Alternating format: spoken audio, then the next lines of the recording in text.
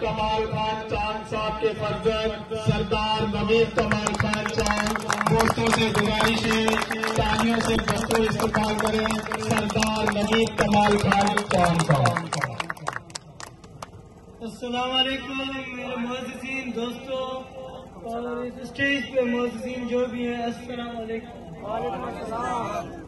जैसे कि आप देख सकते हैं, ये 2024 में इलेक्शन का माहौल हो चुका है, और हसन अली साहब हैं, वो अभी इमरान खान साहब की पार्टी से ताल्लुक रखते हैं और अभी आज़ाद उम्मीदवार खड़े हैं।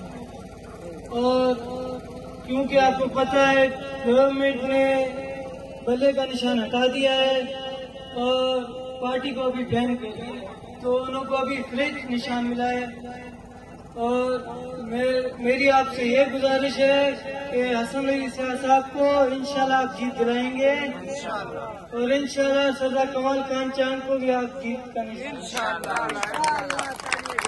जैसे कि मैं अभी गाँव से आ रहा था तो मैंने रास्ते यहाँ के देखे बिल्कुल खराब थे। जैसे भी सर ने बोला है कि यहाँ पे वो बोल रहे थे हम गुलाटी को पेरिस बनाएँगे। मुझे तो नहीं लगता इन्होंने पेरिस बनाया इन्होंने तो बिल्कुल दखल अंदाज कर दिया था।